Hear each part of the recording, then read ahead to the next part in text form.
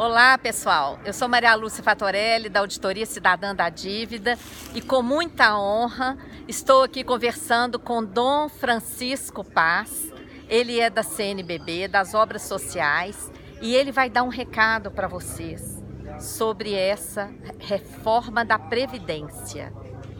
Olha, nós sabemos, Maria Lúcia Fatorelli, que economia significa a ordem natural da casa esta reforma vem destruir a economia do país, vem destruir aqueles direitos sociais que foram consagrados na Constituição de 88, aquele sistema de segurança social que concretizou um pacto civilizatório para o trabalhador ter uma vida assim de, de descanso, de jubilação, júbilo, de um trabalho de toda uma vida. Hoje ele com esta reforma está condenado a morrer trabalhando, se é que chega lá.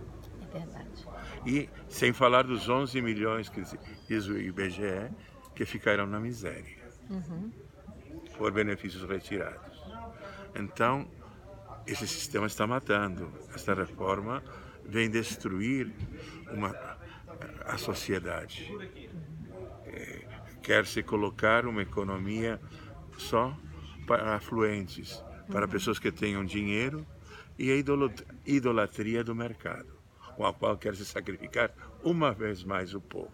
Por isso, quem é cristão, mas quem é também de boa vontade, homem de boa vontade, que conhece o que é a justiça, deve se posicionar contra esta reforma. Sim à vida, não a esta reforma da Previdência. Muito grata. Entenderam o recado? Vamos compartilhar. Um abraço.